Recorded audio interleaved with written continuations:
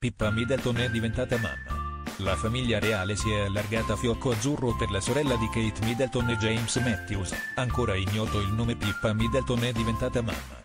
La sorella di Kate, moglie del principe William, ha dato alla luce il suo primo bambino.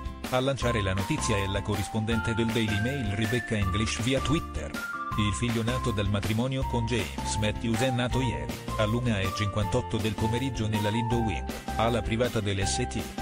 Mary's Hospital di Londra lo stesso dove anche la duchessa ha partorito i suoi tre figli. Rimane ancora ignoto il nome del bebè, che sarà annunciato solo nelle prossime ore. Ciò che è noto è che il bambino pesa circa 3800 grammi.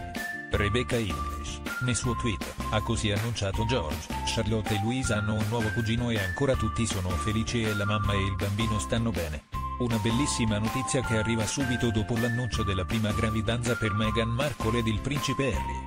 Pippa Middleton, gli ultimi giorni prima del parto una notizia, quella del parto di Pippa Middleton, che ha anche stupito qualcuno. Basti, infatti, pensare che solo pochissimi giorni fa, in verde col suo bellissimo pancione di 9 mesi, la sorella di Kate Middleton era presente al matrimonio di Eugenie di York, senza manifestare alcuna stanchezza. Nelle ultime settimane prima dell'arrivo del bambino, Pippa ha parlato delle sue abitudini di fitness, e ha scritto nella sua colonna di Eitrose mentre l'ultimo mese si avvicina e la pancia diventa sempre più grande ogni giorno, fare movimento è sicuramente molto più imbarazzante.